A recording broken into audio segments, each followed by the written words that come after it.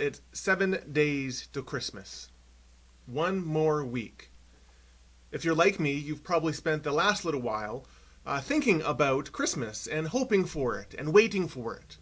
And you'll probably spend the next seven days doing the same, waiting for that time when we can gather in the church and cast our minds back to that wonderful scene in the manger where Christ entered into our world. We will think about that time so long ago and we will celebrate.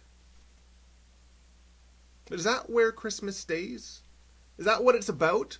Just gathering together and remembering something that occurred so long ago? Sometimes I wonder if we if we lock Christmas into the past.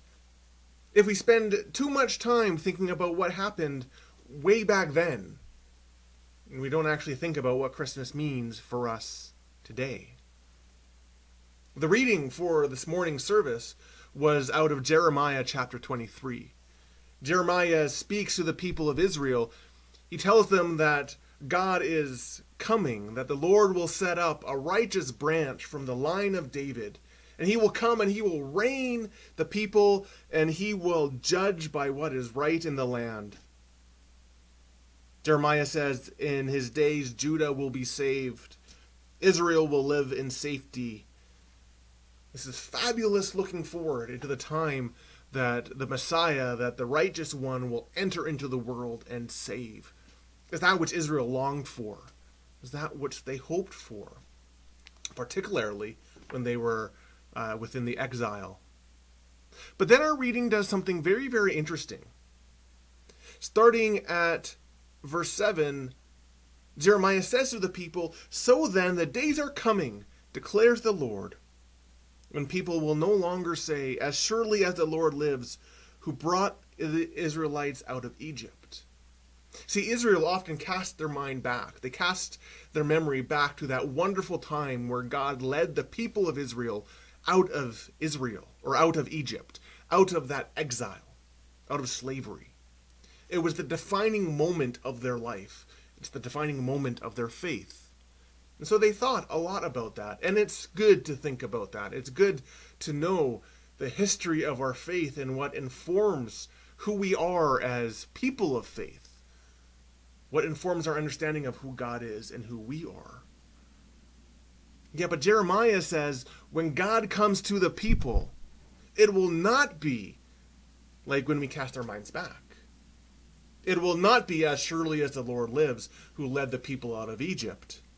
But they will say, As surely as the Lord lives, who brought the descendants of Israel up out of the land of the north and all the countries that he banished them, and he will bring them back to their own land. Jeremiah is saying that God will deal with the present situation of Israel. See, the day of the Lord, when God comes to redeem the people, will be a time when Israel is gathered in that wonderful relationship. They will, in the context of what God is doing in the midst of their lives, in the here and now, it will not be about casting back. It will not just be about remembrance, but it will be about entering into a life with God in the context of the everyday moment. So as we go forward into Christmas in the, the next seven days, and even when we come here to church, we cast our minds back to that fabulous event in the manger where Christ comes to us. Let's not our celebration, let's not our remembrance, let's not our prayers and our faith just be something about what happened a long time ago. But let's think and let's reflect about what it means for us here. Because the coming of God to us in Jesus is about how God is with us here how we can say, as surely as the Lord lives, who deals with the situation in the here and now, who deals with where I am, and sometimes the muck and the mud that I get myself into, who deals with the people that I meet and the places that I go, who is involved in my life here, and in whose presence I am called to live within.